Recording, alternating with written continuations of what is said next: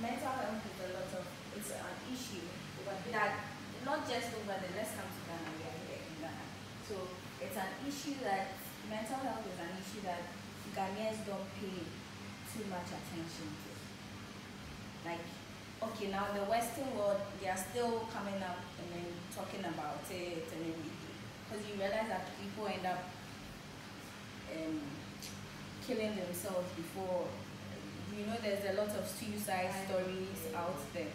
And then ghana it's something that's coming up of late. People end up killing themselves before you even realize it. They've been going through things that they never talk about. Ghana or africa we've been taught to be strong. So all we are doing is being strong minding our business forgetting that our mental health too is very important.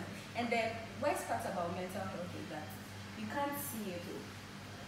Like it's not something you can, can see, like their physical pain. Yeah. It's meant like people can't see it, so it's very difficult for them to pay. So it needs um, it needs their awareness, mm-hmm. not to talk about it more.